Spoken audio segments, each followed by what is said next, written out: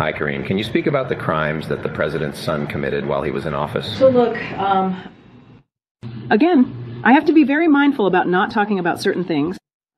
I can't talk about the dozens of hookers that Hunter Biden hired. I can't talk about all the, the crack and Parmesan cheese he smoked. I can't talk about the M&Ms he put on his so his dead brother's wife could eat them. I can't talk about his obsession with his niece.